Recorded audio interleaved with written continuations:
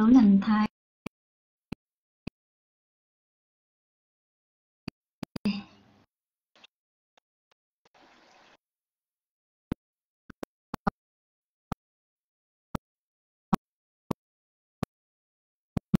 cầm mic nghe rõ không? Vâng. Dạ, Đâu? À, dạ. Con thành cái Phật pháp và trong kinh lệnh lệ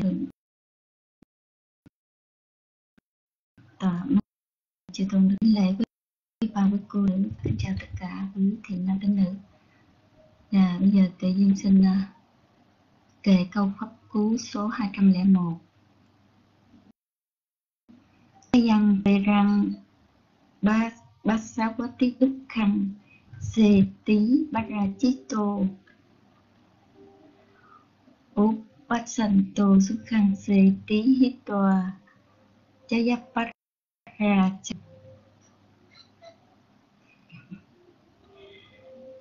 ăn chè nữa. Cha yang quê răng ba xa hoa ti Đục khăn se ti ra chi tô.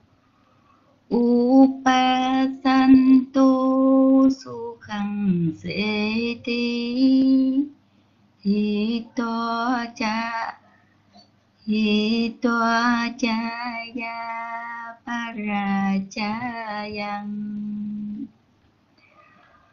chayang virang basa hoa ti đục khăn ti. Dukkhang đục se ti parachito upasanto sukhang se ti. Hito chaya parachayang.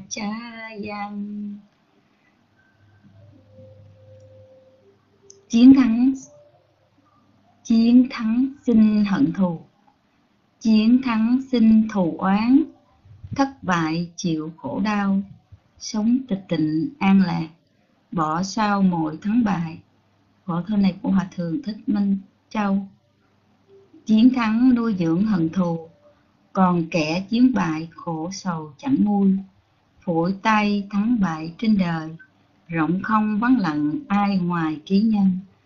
Phổ thơ này của Hòa Thượng Giới Đức Bây giờ à, tự nhiên đã kể xong rồi Giờ kính chị cảm ơn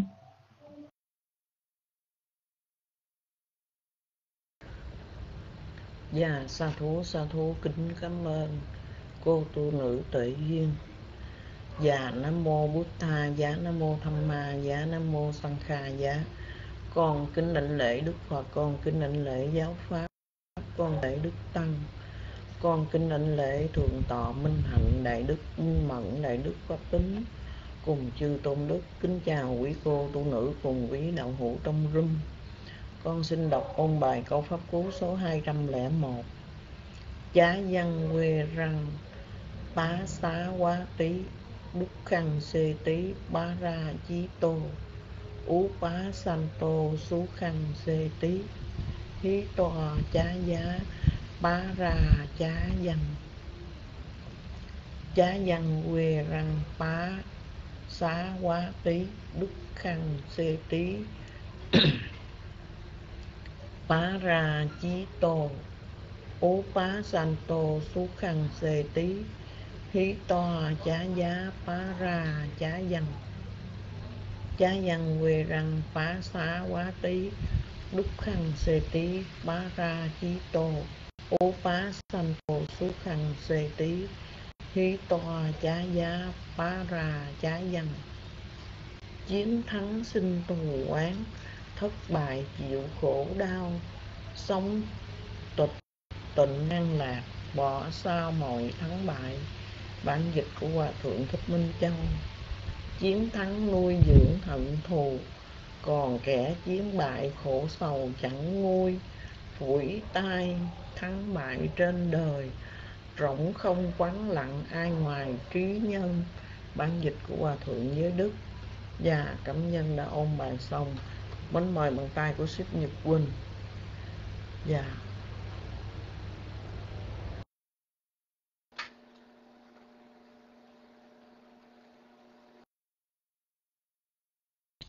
dạ xa thú, xa thú, kính cảm ơn, cảm ơn. Biết sao mà Nhật Bình cười không cảm ơn. Hãy mà buông uh, thả tâm hương ra, tâm hương giật mít nè. Dạ, cảm ơn. Xích Rạng Đông của tu nữ tệ duyên cho Nhật Bình biết được tín hiệu nên Nhật Bình đành phải cho tâm hương ăn chè.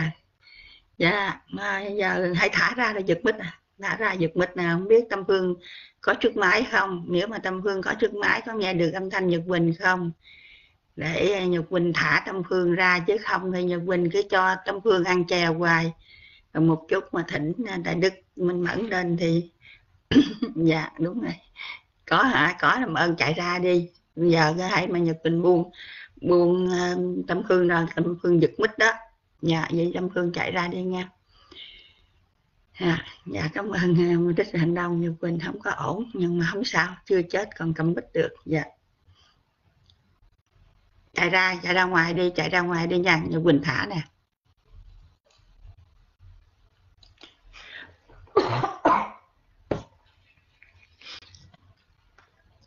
Dạ năm mô bích hai giá. Dạ một lần nữa con thành kính đảnh lễ đại đức minh mẫn cùng chư tôn đức hiện diện trong đạo tràng dạ cảm ơn cô tu nữ tệ duyên.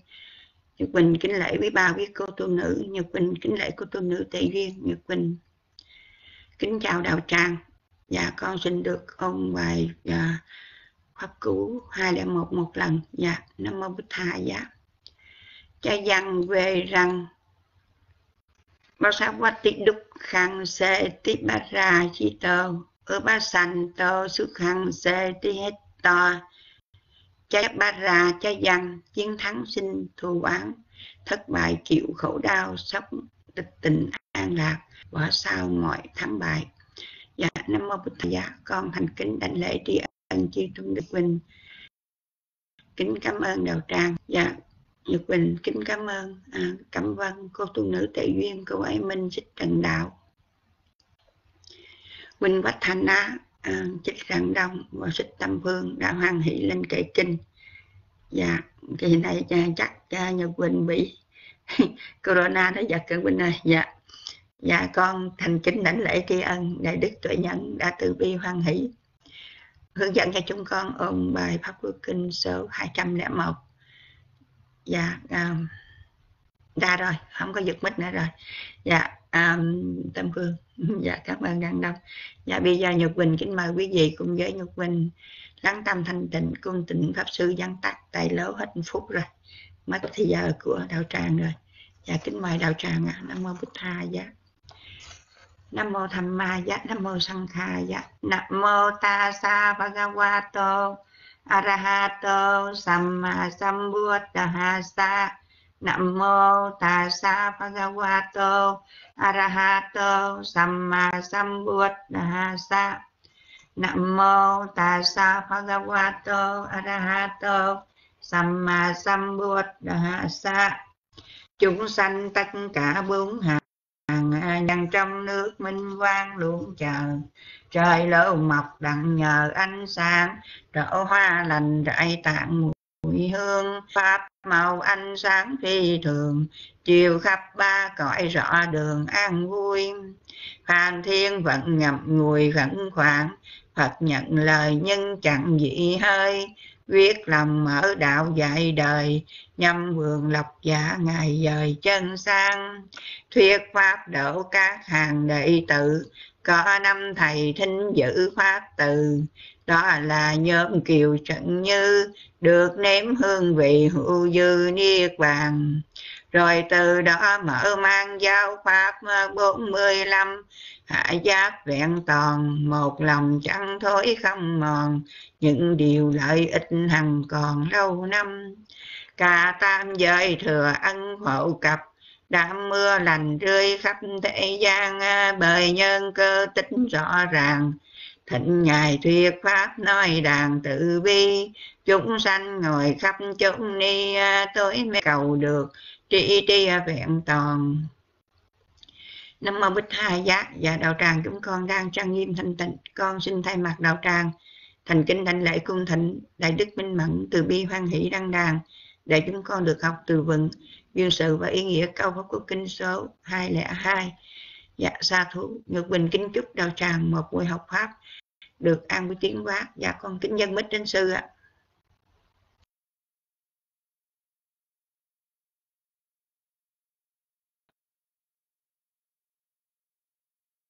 Dạ, sa thú sa thú lành thai kính tri ân xích Nhật Quỳnh. Nam mô Bút Tha giá Nam mô Tham Ma giá Nam mô Sang Kha giá con thành kính đảnh lễ ân đức Tam Bảo là Phật Bảo, Pháp Bảo và Tăng Bảo. Xin hỏi ờ, quý vị nghe có rõ không? Alo 123. À dạ nghe hơi nhỏ.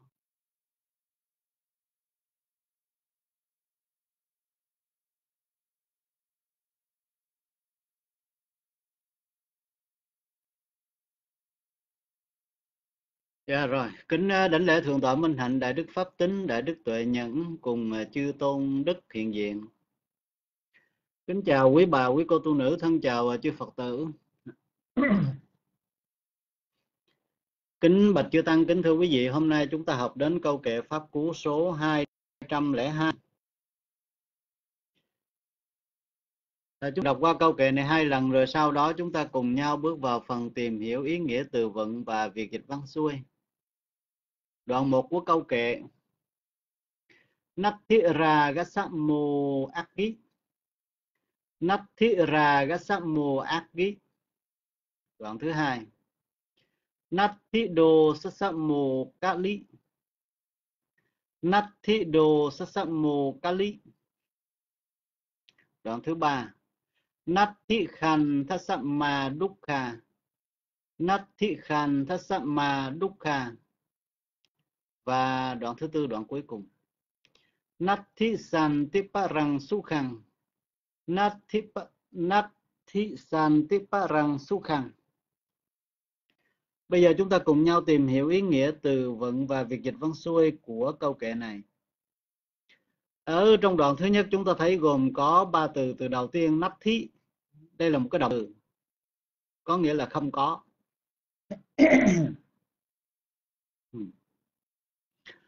từ thứ hai, ragasamu, đây là một hợp từ chúng ta tách ra, raga cộng với là sama. Ừ. Raga là tham dục.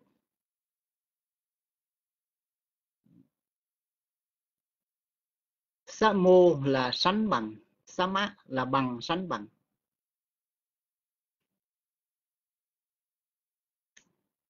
Agi là lửa.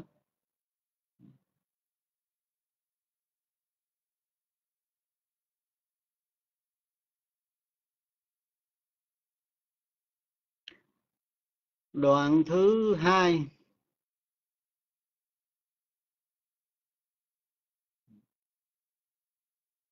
Đoạn thứ hai chúng ta thấy gồm có ba từ từ đầu tiên chúng ta lấy nghĩa rồi.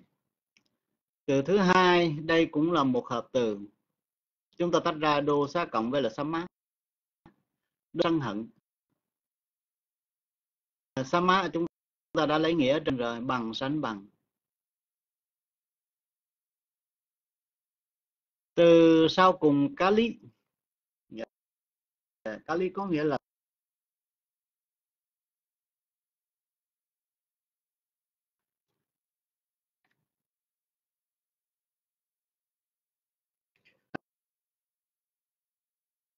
lỗi hay là tội ác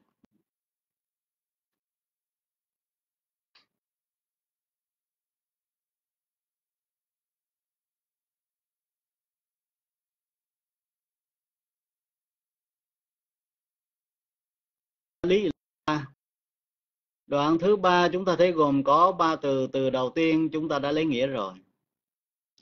Từ thứ hai khan sama đây cũng là một hợp từ chúng ta tách ra khan thá cộng với là sama khan thá dịch là quẩn. Ừ, là khối là nhóm. À, từ cuối cùng dukkha dukkha đây là một từ quen thuộc đối với tất cả chúng ta khổ hay là sự khổ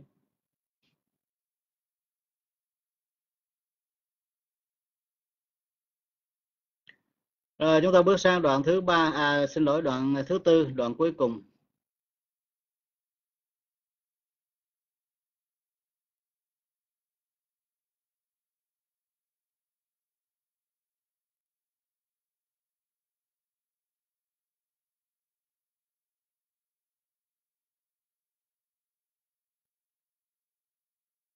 Đoạn thứ tư, đoạn cuối cùng.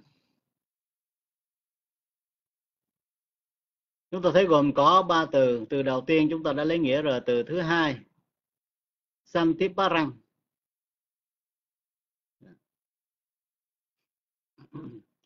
Đây cũng là một cái hợp từ chúng ta tách ra santi cộng với là para. Ừ. Para đó nó có nghĩa là khác à, nhưng mà trong trường hợp này đó mình dịch là hơn. Trội hơn. Ừ. Ờ, Santi Santi Kích à, là tên của đại lão hòa thượng tịnh sự. Ờ, Santi mình dịch đó là tịnh lạc hay là an tịnh.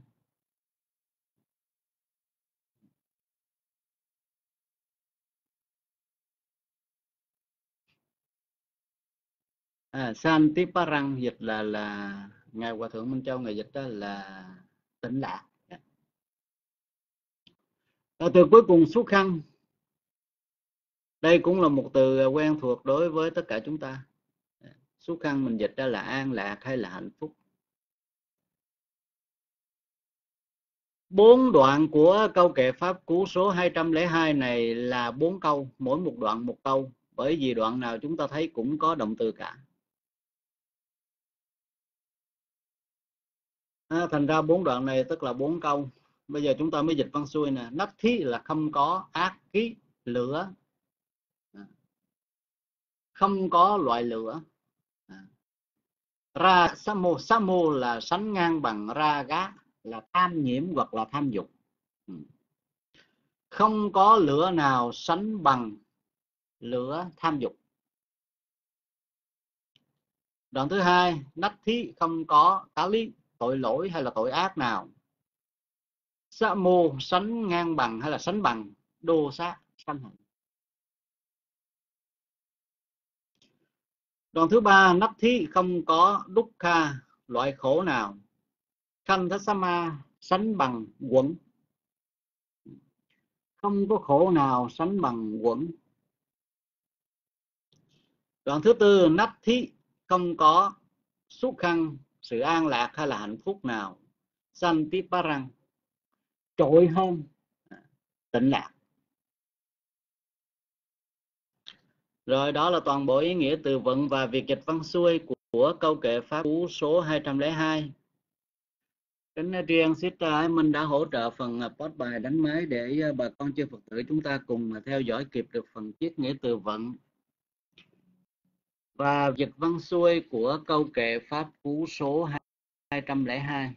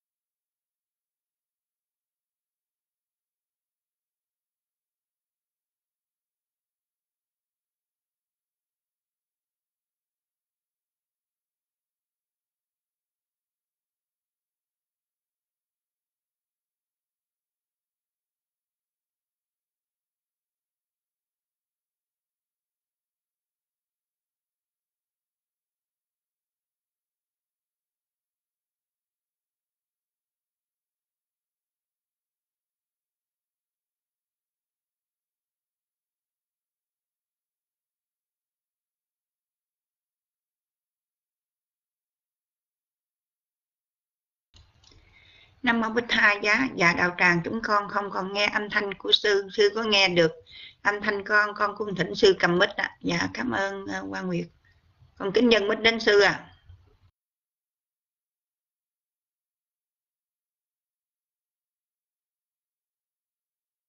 Bây giờ tôn bà quốc tự tam học cao quân phật dạ dạ ủa, sao chúng tôi thấy mình vẫn đang ờ, cầm mic ngon lành luôn, mà sao xích ờ, nhật quỳnh vẫn lên cầm mic được kìa? Hay thiệt chứ ha. À hả. Rồi giờ chứng tỏ là nét chúng tôi yếu hơn nét xích ờ, nhật quỳnh rồi. À chúng tôi bị rớt mic hả? À hả nhưng mà sau trong cái bao thoát của chúng tôi đã thấy à, mình vẫn đang cầm mic và cái tín hiệu của âm thanh nó phát ra nó là vẫn có. Dạ rồi thôi được rồi. À, bây giờ quý vị nghe thì à, sẽ xin à, được tiếp tục ạ. Dạ.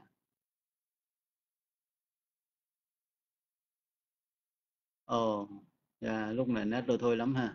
Dạ. Chắc do cô đó. À, corona cái thành ra đó là nó cũng ảnh hưởng à, lung tung thứ ở trong à, đời sống của mình dạ. dạ, rồi bây giờ chúng tôi xin được đảnh lễ tam bảo tóm tắt rồi chúng ta cùng nhau học. Dạ.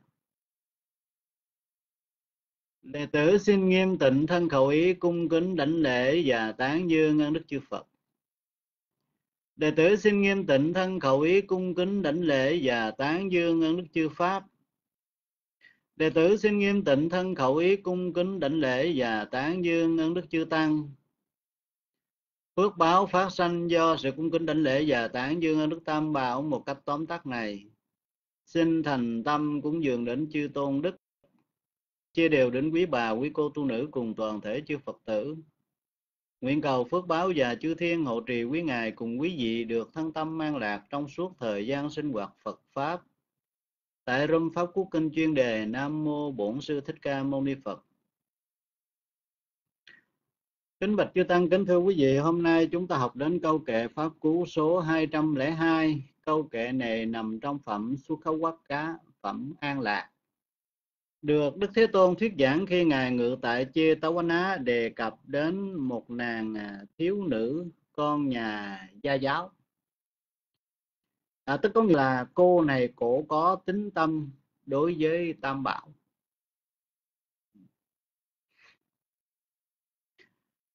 Tương à, truyền rằng cha mẹ của cô thiếu nữ này đã nhận lễ cầu hôn của bên nhà trai. Và cha mẹ của cô này đã cung thỉnh Đức Thế Tôn cùng với chư tăng vào cái ngày gả con lấy chồng đó đến nhà để ờ, uh, trai tăng cúng dường. À, thì lúc bấy giờ Đức Thế Tôn ngài nhận lời cho nên ngài cùng với tăng chúng tùy tùng ngự đến nhà của cô thiếu nữ này và an tọa vào chỗ đã được soạn sẵn lúc đó, đó cô dâu vì có tính tâm nơi tam bảo thành ra đó là cô này rất là quan hỷ trong cái việc tạo phước cho nên cô mới lăn xăng đi lui tới lo phục dịch ờ, chư tăng và đức thế tôn. Còn ờ, chú rể đó thì ờ, vì do cái tâm ái tham quyến luyến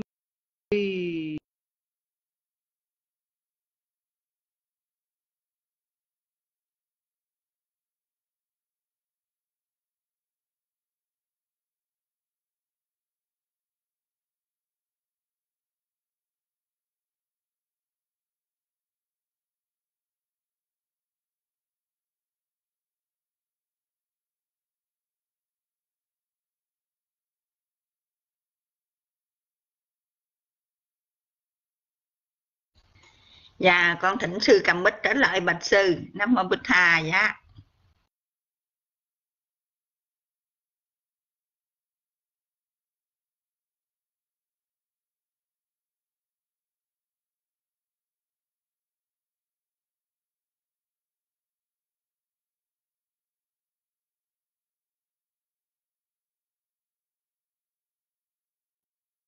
cho nên đứng ngắm cho nên là chúng tôi à, chúng tôi thấy là mình à, vẫn cầm à, mic chết rồi cái này hiện tượng này là sao?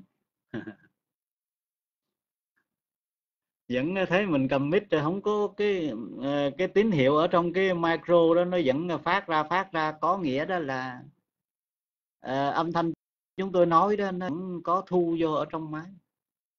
Chết rồi. À, cũng không hiểu ra làm sao luôn.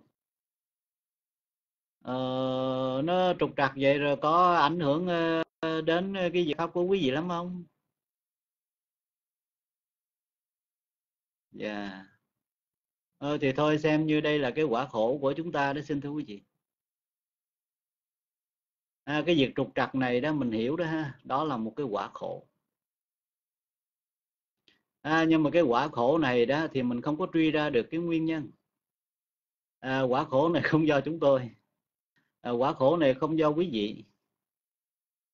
À, rồi nếu mà mình nói nữa nữa ha. Mình nói là có thể là do beo thoát à, nhưng mà kỳ thật ra đó là mình cũng chưa chắc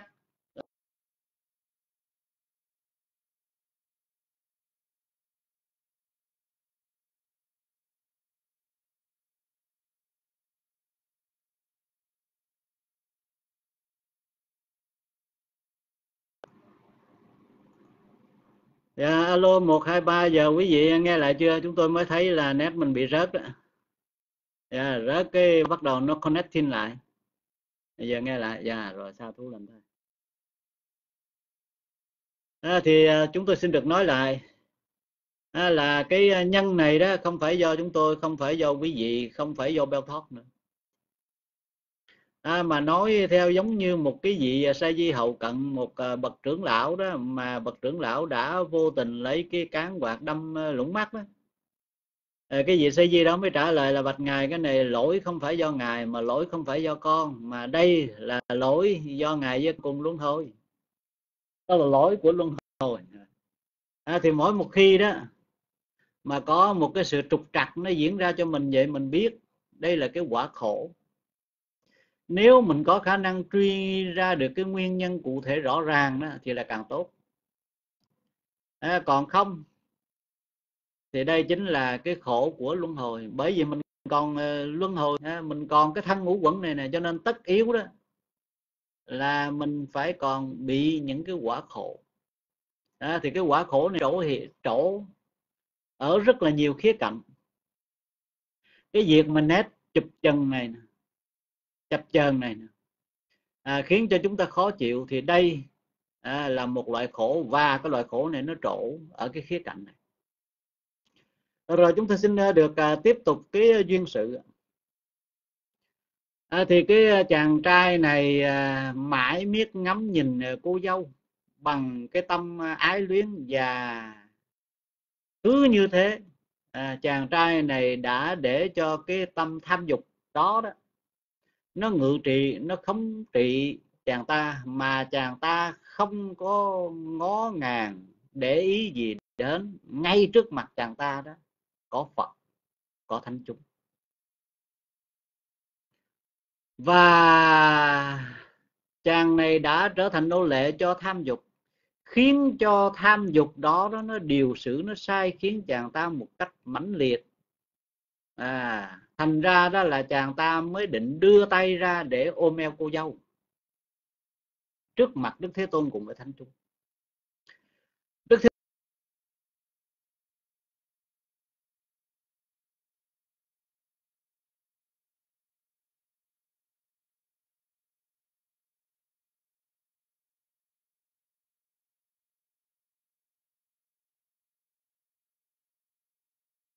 này đã bị tham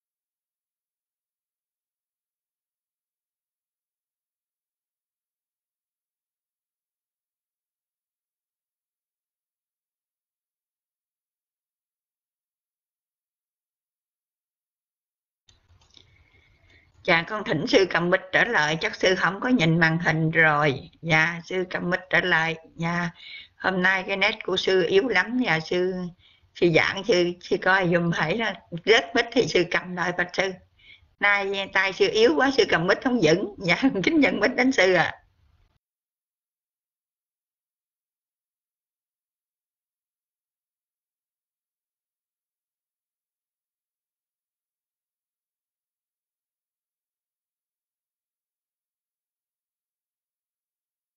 Tham dục nó khống chế nãy dục được ý định à, thực hiện.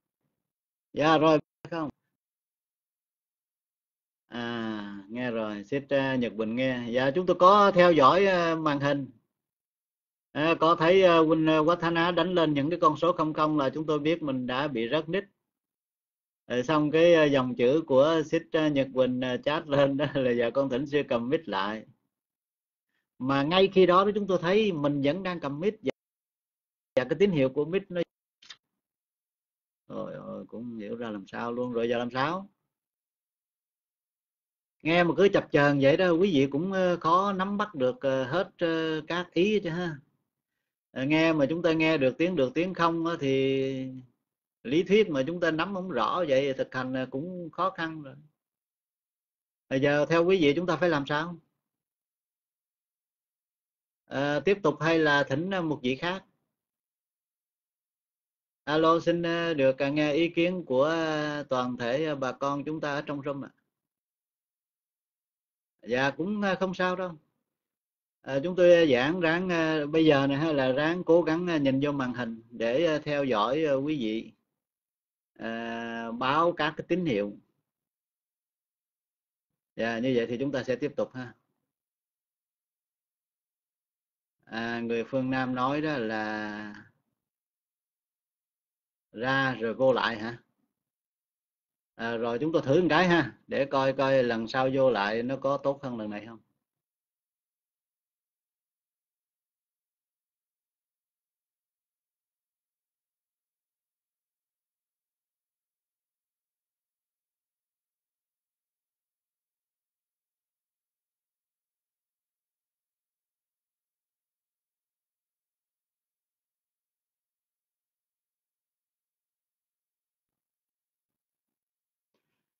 Dạ, alo một hai ba. Alo một hai ba xin hỏi ờ, quý vị ờ, có nghe không? Ồ có xích uh, sương mai đang gọi nữa nhưng mà thành ra thôi xin ờ, sám hối xích ha à, đang đang giảng cái đó dạ. Dạ rồi xin hỏi quý vị có nghe rõ chúng tôi? Nếu mà chúng ta nghe nếu mà quý vị nghe rõ thì chúng ta sẽ tiếp tục ạ. à. Dạ alo. Dạ rõ. Rồi chúng ta tiếp tục ha.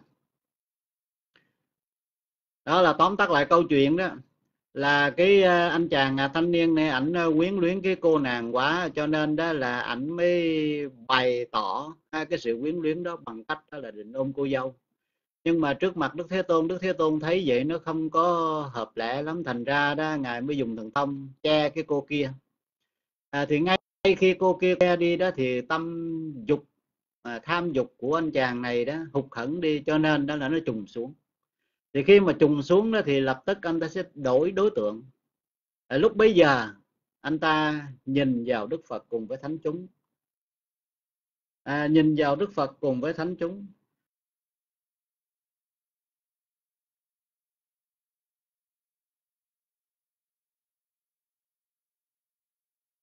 À, thì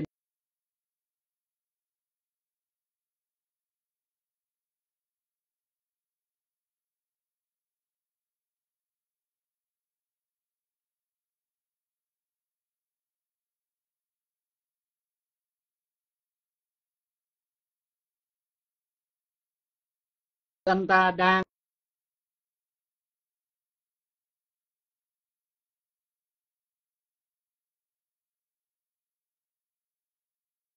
nhìn mình.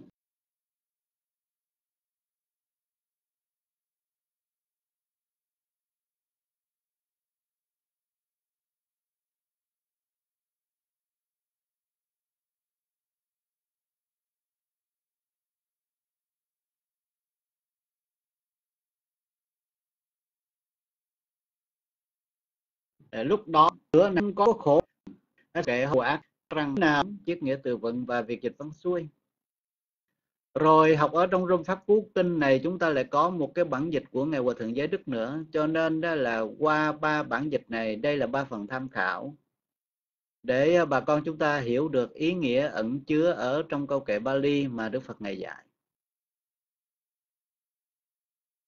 À, xin thưa quý vị, câu kệ này Đức Thế Tôn ngày à, so sánh để cho chúng ta thấy được à, cái loại nào đó là mạnh nhất. Ngài mới đưa ra bốn loại so sánh. Thử hỏi bà con chư Phật tử chúng ta, chứ bốn loại so sánh này có liên hệ với nhau không?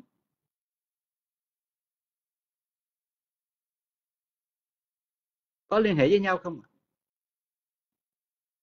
và nếu như mà ít đi đó, thì có đủ không và nhiều hơn một tí đó, thì có hoàn hảo hơn không xin thưa quý vị đó.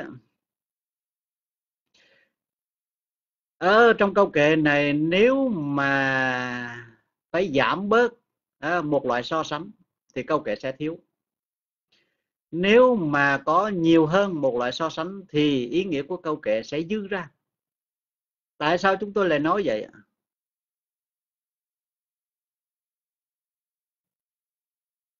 bà con à, chư phật tử à, chúng ta có công nhận rằng mình hay là chúng sinh, mình nói riêng và chúng sinh nói chung ở trong cuộc đời này đó, còn có mặt, còn xuất hiện, còn tồn tại, còn hiện hữu được ở trên cuộc đời này là do tham. Phải không, xin thú quý vị? Tham là mẹ đẻ, tham là người xây nhà à thành ra còn có mẹ đẻ thì còn có con. Còn có người xây nhà thì ngôi nhà mới được hình thành nếu không có tham thì chúng sinh không có hiện hữu tồn tại trên cuộc đời này. Nhưng mà tham là mặt phải và mặt trái. Tham đi đâu thì sân sẽ đi đó, sân đi đâu thì tham sẽ đi đó. Từ chỗ có tham có sân mới hình thành nên quẩn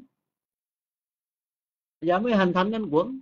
Quẩn mới liên, mới được tiếp nối liên tục. Quẩn mới được hình thành. À, và khi quẩn hình thành, khi quẩn tiếp nối liên tục, tức có nghĩa đó là có cái sự tồn tại, có cái sự hiện hữu. Thì có sự tồn tại, có sự hiện hữu đó, tất yếu, có khổ, tối thiểu cũng phải có bốn loại khổ là khổ sanh khổ già khổ bệnh khổ chết. À, và vì có sanh có già có bệnh có chết đó gọi là khổ.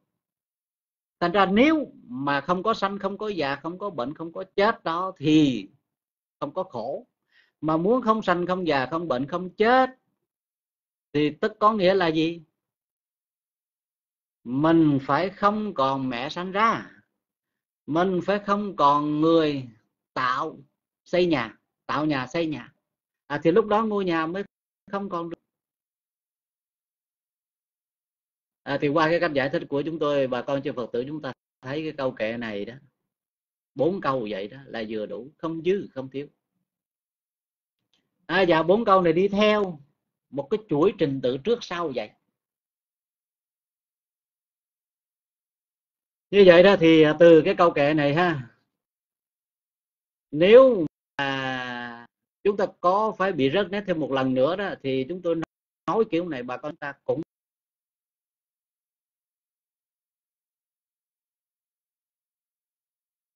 được cái ý nghĩa câu kệ này. Sân tất yếu dẫn đến vẫn dẫn được, tiếp nối liên tục mà khi các quẩn được hình thành các quẩn tiếp nối liên tục thì tất yếu dẫn đến là có sanh có già có bệnh có chết có cầu không được. Cầu bất đắc à, có thương phải xa có ghét phải gần có cầu bất đắc. Đó là những cái loại khổ.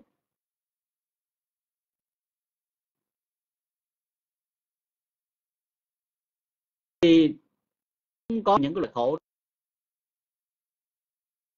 đó giống như chúng ta giờ đang sinh hoạt ở trong bởi đối gián này thì đây cũng là một cái hình thức một kiểu khổ. Để không bị những cái kiểu khổ này thì chúng ta sẽ không có cái gì xin thú vị không có cái con mắt để chúng ta không có phải nhìn vô cái màn hình. À, lúc đó chúng ta sẽ không có thấy à, là nét nó rớt à, do người này nghi kêu báo cáo. Chúng ta không có cái lỗ tai thì chúng ta sẽ không có bị nghe hoặc là được nghe các loại âm thanh này à, thì lúc đó chúng ta sẽ không có bị hụt hẫng khi ai đó họ nói cho mình biết là nét rớt vân vân và vân vân để không có con mắt không có lỗ tai không có lỗ mũi không có cái lưỡi không có cái không có cái tâm này. À, thì xin thưa quý vị buộc lòng chúng ta phải tu hành tu tập huấn luyện chỉnh sửa điều phục làm chủ cái tâm của mình như thế nào đó để khi cái tâm thức của mình sanh lên nè, không còn tham, không còn sân. À thì ngay khi đó đổ về sau, các quẩn không còn được tạo ra nữa. Tức là không còn được hình thành ở tương lai, hay không còn được tiếp nối liên tục ở tương lai nữa à, thì lúc đó đó mới là an lạc thật, sự. À, có một cái câu chuyện của các à, bậc thánh tăng người ta chuyện trò với nhau đó đó là có một vị à, thánh tăng sau khi nhập thiền diệt xong mới cảm nhận được cái sự an lạc của thọ không sanh khởi lên. À, thì khi đó đó vị đó mới nói với bạn đồng phạm hạnh rằng an lạc thay khi thọ quẩn không có sanh khởi. À, thì lúc đó đó cũng một vị thánh tăng khác bạn đồng phạm mạnh mới nói chính vì không có thọ thì đó mới thật sự ra là an lạc. Đó, đó mới thực sự là an lạc. Có nghĩa rằng là chính vì ngũ quẩn à, không còn được tiếp nối nữa thì đó mới thực sự là an lạc. À thì vị này nói vậy có nghĩa đó là vô dư y niết bàn đó là tịnh lạc thật sự. Do tịnh lạc thật sự. À, thì để đạt được đến cái trình độ này thì bây giờ đó à, chúng ta phải hiểu. Còn có ngũ quẩn à, là còn do có tham có sân thì bây giờ đó chúng ta phải biết đó là tham là gì? Nó có ba à nó tác động nó làm hại mình như thế nào? À, sân là gì? Nó tạo ra hay là làm ra cái việc gì khiến cho mình phải bị như thế nào? À, thì từ cái chỗ đó cái bản thân của mình là mới cam tâm tình nguyện từ bỏ nó đi. À, thì khi mà mình từ bỏ được nó thì tất yếu dẫn đến mình sẽ không còn bị những cái nghịch cảnh những cái chướng duyên những cái bất trắc những cái khổ đau vân vân ở trong cuộc đời. À, vậy thì ở đây đó tham dục là gì? Xin thú vị ra gá là tham dục hay là tham nhiễm? Có nghĩa đó là mình đã có một cái sự thích thú đã có một cái sự dính mắt à, đối với đối tượng. Sắc đẹp, tiếng hay, mùi thơm, vị ngon, xúc lạc. Như là mình ăn nè, mà mình đã có cái cảm giác ngon.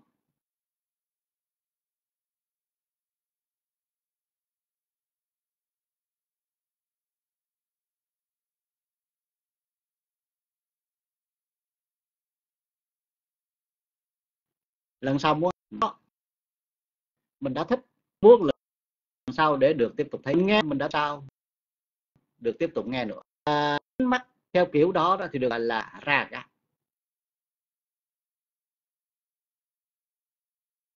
ở đây đức thế tôn này dạy là không có lượng gia thú.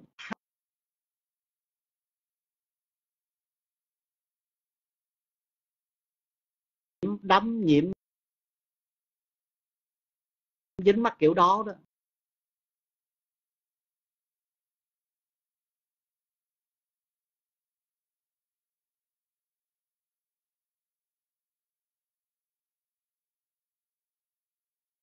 Thì thử hỏi bà con có trong lòng sư tú vị đó là có và đó nhưng mà lửa tinh thần đó là lửa nằm trong lòng của mình. À, lửa nằm trong lòng của mình đó, thì lửa ở đây đó. Lửa nằm trong lòng này. Ở trong cái bài kinh gọi là gọi là kinh uh, giải về lửa. Kinh giải về lửa được ghi chép lại ở trong cuốn kinh tụng của ngài hộ tông đó. À, thì trong cái bài kinh đó nó chỉ ra rất là nhiều loại lửa xin thú vị. Lửa nó phát sanh lên từ con mắt từ lỗ tai từ lỗ mũi từ cái lưỡi từ cái thân từ cái ý của mình. À là sáu căn rồi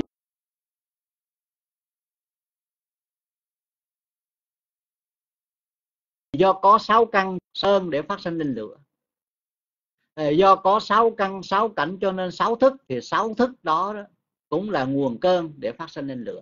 À, và vì có sáu căn tất yếu nó có đụng chạm xúc chạm với sáu cảnh thì đụng chạm xúc chạm đó cũng là nguồn cơn làm phát sinh lên lửa. Và ở trong cái bài kinh nói gọn lại là như lai gọi à, nóng do lửa tình do lửa sân do lửa si. Nóng do sự sanh sự già yếu và sự chết. Nóng do sự trái ý do sự quất ức do sự khổ trong thân do sự khổ trong tâm do các sự khó chịu trong đó là nói gọn lại những ngọn lửa vậy. Như vậy thì từ đây đó mình có thể nói gọn. Là có nè lửa xanh lửa già lửa bệnh lửa chết là bốn ha. Lửa tham lửa sân lửa si là sáu. À xin lỗi là bảy. Và bảy ngọn lửa vậy, đó là lửa bên trong hay là lửa tinh thần? Lửa bên ngoài, lửa vật chất đó chúng ta đã hiểu rồi. Vậy thì ở đây đức thế tôn ngài nói trong tất cả các cái loại lửa đó đó, không có lửa nào mà nó nóng bằng lửa tham dục. Do nó nóng bằng lửa tham dục à, thì ở đây đó à, chúng ta mới à, cùng nhau tìm hiểu tại sao đó đức thế tôn ngài nói vậy. Xin hỏi à, quý vị ha nếu mà lửa vật chất đó à, thì trong tất cả các loại lửa mà chúng ta có thể biết được nè là lửa củi nè lửa điện nè lửa ga nè à, lửa nguyên tử nè lửa địa ngục thì loại lửa nào ờ, ờ, uh, nóng hơn xin thú chị? Lửa lò nguyên tử cũng không có nóng bằng lửa địa ngục. Do lửa địa ngục là nóng nhất. Do nóng nhất. Ừ. à, nhưng mà từ từ từ từ, từ trong vô thủy cho tới giờ nè mình mình là xin thú vị mình là nói nó nói riêng con người của mình. Có từng xuống địa ngục chưa? À, nếu mà theo kinh nói đó à, thì trong vô thủy luân hồi cho đến bây giờ trong 31 cõi theo vũ trụ quan Phật học đó, chỉ có 5 cõi là mình chưa từng đi đến đó thôi đó là năm cõi thánh. Còn 26 cõi còn lại đó là mình đã từng rồi và chẳng những từng mà từng rất là nhiều lần rồi. Như vậy có nghĩa rằng là địa ngục a tỳ mình cũng đã bị xuống đó rồi. Nhưng tại làm sao? Tại làm sao mình xuống đó? Là vì do mình còn có tham. Tham là mẹ sanh mà, mình còn có mẹ sanh cho nên mình cứ bị đẻ ra hoài, đẻ ra hoài. Thì do đẻ ra hoài vậy thành ra đó là mình phải đi chỗ này chỗ kia, đi khắp các nơi trong 26 cõi đó à, do đó đó là gì? À, lửa củi nè mình cũng đã được từng bị thiêu. À, lửa điện nè mình cũng đã từng bị thiêu. Lửa ga mình cũng đã từng bị thiêu bị đốt. Lửa ờ, nguyên tử đó mình cũng đã từng bị thiêu bị đốt. Và lửa địa ngục mình cũng đã từng bị thiêu bị đốt. Đó là lửa vật chất. À, còn lửa tinh thần đó là mình bị thiêu bị đốt bởi sự sanh đó không biết bao nhiêu lần. Bởi sự già không biết biết bao nhiêu lần. Bởi sanh già bệnh chết không biết bao nhiêu lần. À, không biết bao nhiêu lần. À, rồi cái lửa tham này nè ha. Thì ở trong uh, cái duyên sự hồi nãy mới nói là cái anh chàng này ảnh uh, nhìn uh, cô nàng đó, một cách đắm nhiễm một cách là thích thú thèm thuồng khiến cho phiền não dục nó khởi lên khởi lên ở trong tâm của anh ta nó đốt nóng anh ta. Yeah. khiến cho anh ta đó là gì xin thú vị? Bồn chồn đứng ngồi không yên mới định đưa tay ra ôm eo của cô nàng. À, thì cái lòng tham nó khởi lên. À, là nó đốt nóng mình vậy nó làm cho bồn bồn bồn, bồn chồn đứng ngồi không yên vậy à, đứng ngồi không yên vậy.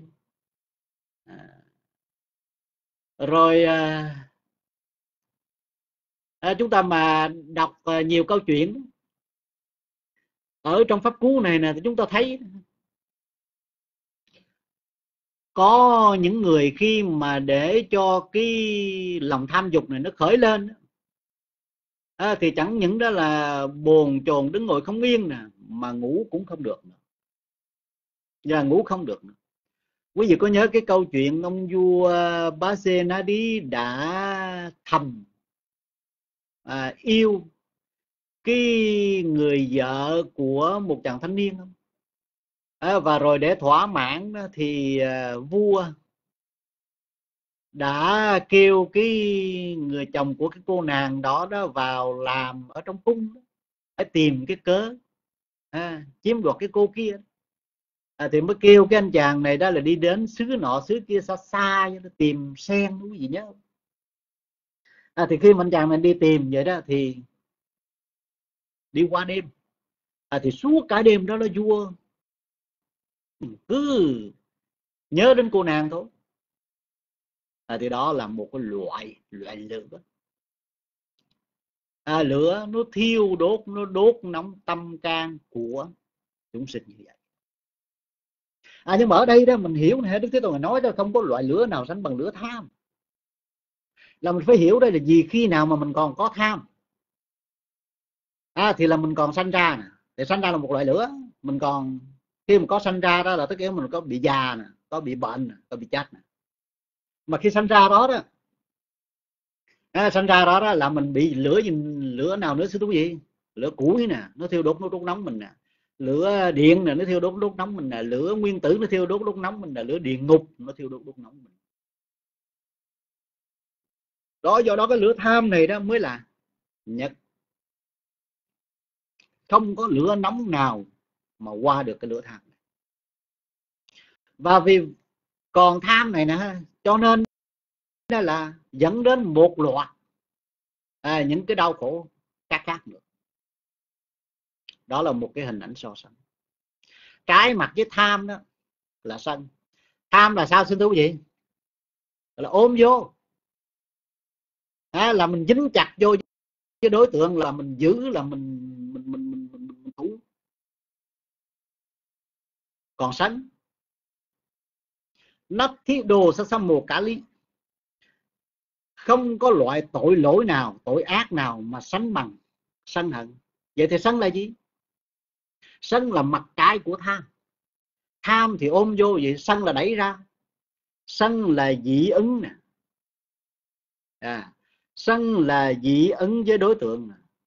Sân đó là quý hoại đối tượng nè. Hoại đối tượng nè là triệt tiêu đối tượng nè là đập đập bỏ phá vỡ đối tượng. Sân người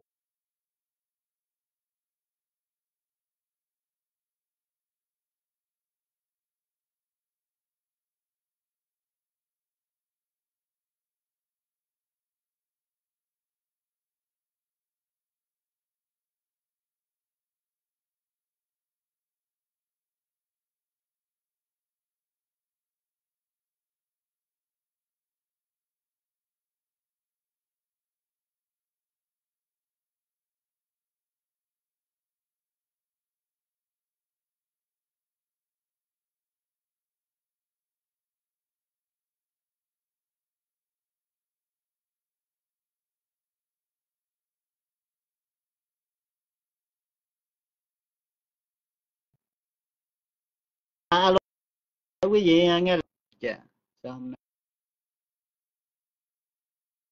nay? Chứng duyên quá chứng duyên luôn rồi. Rồi chúng ta bước sang cái câu à, thứ hai. Đức Thế Tôn người dạy Nắp thiết đồ sát sam mồ cả lý là không có loại tội nào sánh bằng sự sân hận. À, thì sự sân hận là gì? Xin thưa quý vị tham là mình ôm vô thì sân hận đó là mình đẩy ra sân hận đó là dị ứng nè à, là khó chịu nè. À, là quỷ hoại nè. Là đập phá nè là triệt tiêu đối tượng. Làm to mất đi. Thì đó chính là sân hận. À, thử hỏi bà con chư phật tử chúng ta chứ trong cuộc đời này tội nào là nặng nhất? À, mình à, là người à, học phật nè. À, thì trong phật giáo nói ngũ nghịch đại tội đó là tội nặng nhất thì muốn mình đại tội đó là tội cha nè, thứ hai là giết mẹ nè, thứ ba là giết a la hán nè, thứ tư đó là làm thân phật chảy máu, và thứ năm đó là chia rẽ tăng. Phải không xin thú vị? Đây là năm trọng tội. Để thực hiện được năm trọng tội này đó thì phải thực hiện bằng cái tâm não. Mình mà không có bực tức tức tối giận dữ, mạnh đó thì không thể nào giết được người. Để giết được người à, thì đó là do sân tâm bộc phát cực mạnh ác đó, thì mới có thể giết được người. À, do sân ác quá đó thì mình mới dẫn đến đó là giết cha giết mẹ giết a la hán thì sân ác ờ, dẫn đến là mù quáng rồi cho nên đó là không có biết tội không biết lỗi là gì nữa đó, thì bây giờ mới gây ra những cái tội lỗi lỗi lầm đó. Ra những tội lỗi lỗi lầm đó. Chứ còn nếu không đó thì là nếu mà không có dẫn đến sân ác đó thì là khó hay xin thú vị. Có để mà mình có thể đó là phủi bỏ đi cái thâm ân của cha mẹ. À, khó để mà mình có thể đó là không có thấy ra được. À, người có ân đức và người không có ân đức để rồi đó à, mình có thể giết được bậc a la hán hay là làm thân phật chảy máu?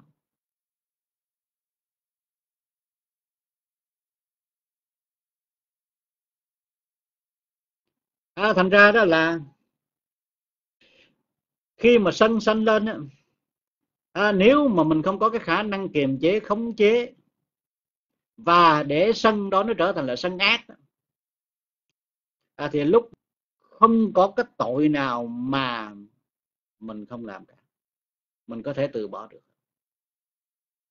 À, nên ở bên à, bên bên bên bên Phật giáo Bắc truyền đó mới nói là khi mà một niệm sân khởi đó, thì đốt cả rừng công đức thì đó mới là một niệm sân khởi thôi. À, rồi một niệm sân khởi đó mà mình để nó vậy. À, mình nuôi dưỡng nó một niệm đó rồi có niệm thứ hai có niệm thứ ba có niệm thứ tư. Nhiều niệm cộng lại trở thành là sân ác à, sân ác được hình thành thì khi đó không còn biết đâu là cha không còn biết đâu là mẹ không còn biết đâu là thánh nữa. Rồi thành ra đó là có thể gây ra vô vô vàng tội tội lỗi. Ờ, vô vàng tội lỗi. Đó thì nói tóm lại đó là để giết được cha để giết được mẹ để giết được bậc án để làm thân chảy máu thì người đó phải có cái tâm cực ác à, thì mới làm được. Thì tâm cực ác đó chính là sân tâm hay là sân ác. Và giết cha giết mẹ giết a la hán làm thân phật chảy máu đó chính là những cái tội nặng nhất. Bởi vì sau khi thực hiện cái tội đó phải bị đọa xuống địa ngục a tỳ. Ra ở đây đức thế tôn này mới nói là không có cái tội lỗi nào mà sánh bằng. Trong ở đây mình hiểu đó là phải ác ha. Độ này chúng tôi mới nói với quý vị đó sân gì buồn bực cũng là sân. À, lắng à, sợ hãi cũng là sân. À, rồi là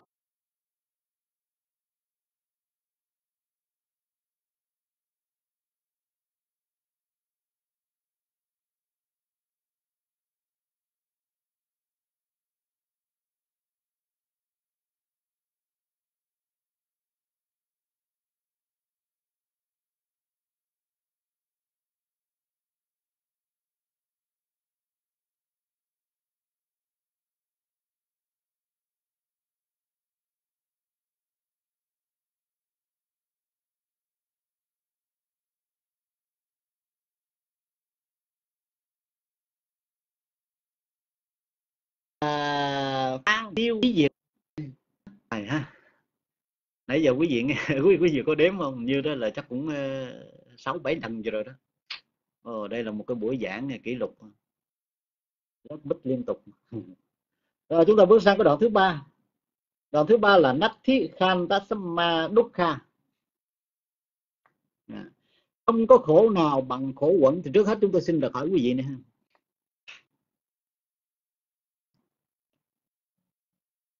à,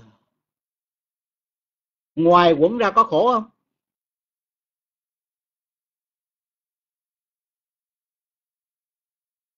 Dạ không có. À, ngoài quẩn ra không có khổ. Ừ. vậy thì quẩn đó à quẩn ở đây đó mình hiểu là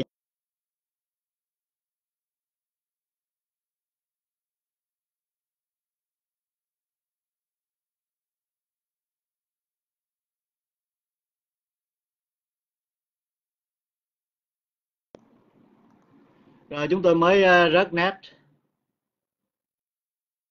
à, ờ, mới ờ, báo cho biết đó là reconnecting là kết nối trở lại. Và thành ra xin được hỏi quý vị quý vị chúng ta nghe lại được chưa? Alo một hai ba. Alo quý vị nghe lại được chưa? Dạ dạ rồi chúng ta tiếp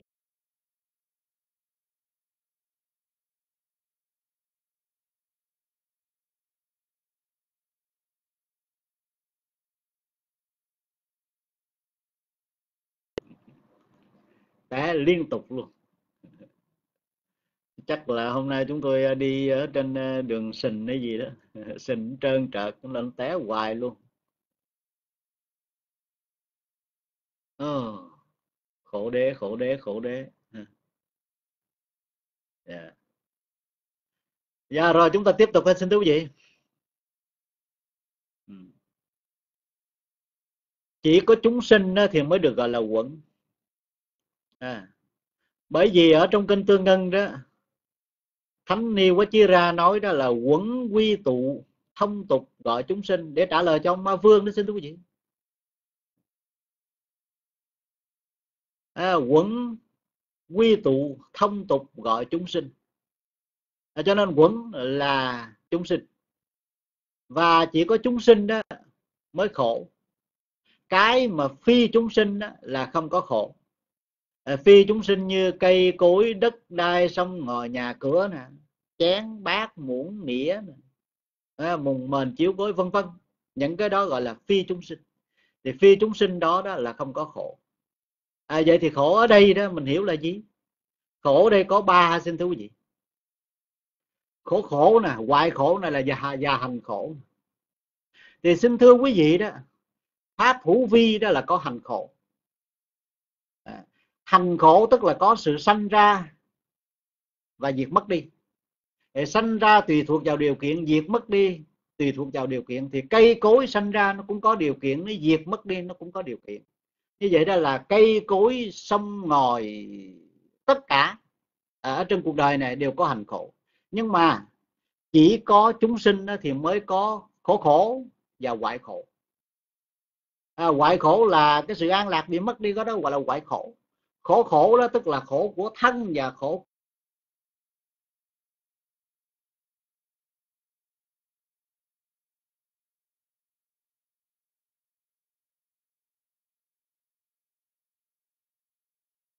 của tâm.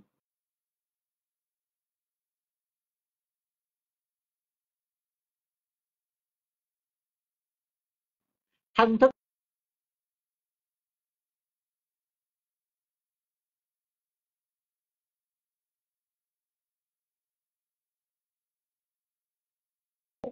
tâm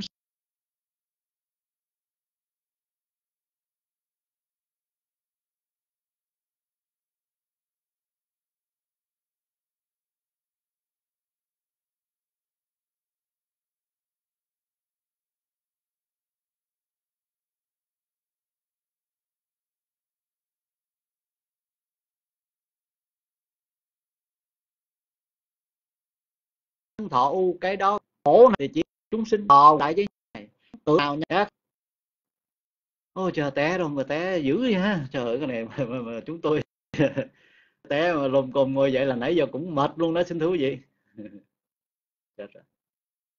À, gì nó tóm lại đó là à, khi mà chúng ta còn tồn tại nè à, dù tồn tại trong cái hình thức là nhất quẩn hay là tứ quẩn hay là ngũ quẩn đi nữa đó à, thì chúng ta cũng vẫn cứ bị bị cái loại khổ sanh nè khổ già nè khổ bệnh nè khổ chết nè.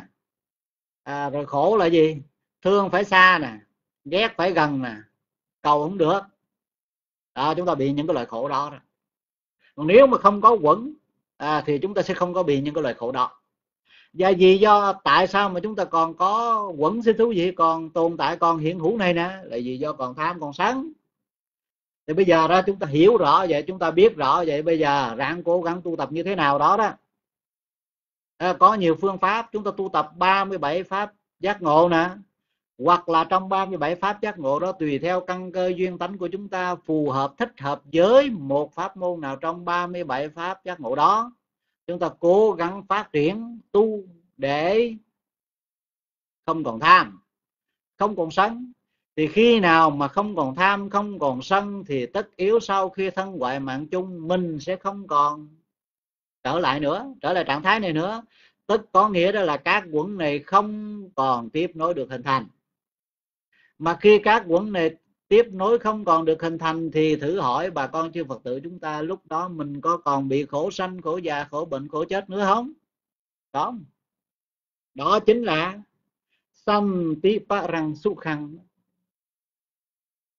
là sự an lạc tịch tịnh. Là sự an lạc vắng lặng à, về muốn vậy à, tất cả chúng ta cùng ráng tu hay xin thú vị tu để từ tham để từ bỏ sang à, từ bỏ đến một lúc nào đó đó hội đủ duyên lành. Thì tất cả tất cả chúng ta đều được chứng thánh tất cả chúng ta đều chứng đắc được, được niết bàn. Và đạt đến trạng thái vô dư niết bàn thì lúc đó đó tất cả chúng ta đều không còn bị một cái loại khổ nào nữa. À, nãy giờ đó là mình bị khổ cũng hơi nhiều nhiều rồi đó thì rút kinh nghiệm. À, vì mình còn à, thân ngũ quẩn này này cho nên mình mới bị khổ vậy đó. Cho nếu mà mình không còn cái thân ngũ quẩn vậy đó nãy giờ mình đâu có phải ngồi đây. Mà mình không có ngồi đây đó thì mình đâu có bị cái kiểu mà nét nó rớt lên rớt xuống vậy. Mà mình không có còn ngồi đây thì giống như cái kiểu là, là chúng tôi đâu có phải ra là té xuống lùng còn ngồi dậy té xuống lùng còn ngồi dậy nãy giờ hoài vậy. Quý vị thấy à, vậy mình có chán sao? Quý vị có nản không? Ai mà thấy chán ai mà thấy nản ha thì người đó đó là phải cố gắng tinh tấn siêng năng nữa tu tập. Đó để đời sau kiếp khác mình đừng như vậy. À, chứ còn đó mà mình không có thấy chán không có thấy nản đó. À, thì lúc đó đó mình nghĩ là cuộc đời vẫn đẹp sao tình yêu vẫn đẹp sao mình xem như đó cái khổ này là bình thường thì là xin thưa quý vị đường đến niết bàn xa vời vợi đó à, mỗi mỗi cái khổ dù cho khổ nhỏ hay là khổ to nó sanh lên. Mình cũng đều phải có cái sự sợ hãi chán chường đối với nó thì lúc đó đó mình mới cố gắng tinh tấn siêng năng. Bản thân của mình à, cam tâm tự nguyện từ bỏ tham từ bỏ sân. Thì ước mong à, qua cái thời pháp này ít nhiều bà con chư phật tử chúng ta cũng có chút chút vậy đó sợ hãi khi nào còn có sự hiện hữu tồn tại này. Để từ đó đó mà chúng ta cố gắng siêng năng nhiều hơn nữa trong việc tạo dựng các thiện pháp. Các thiện pháp này, mục đích để từ bỏ tham